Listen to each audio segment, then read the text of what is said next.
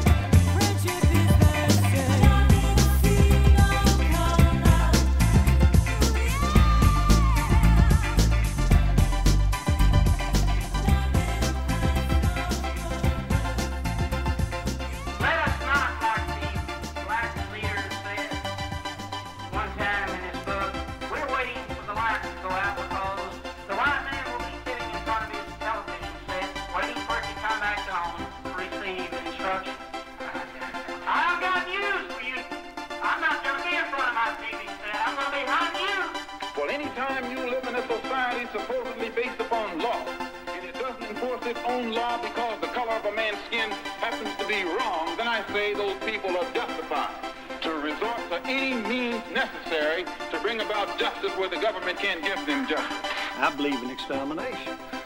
of all that opposes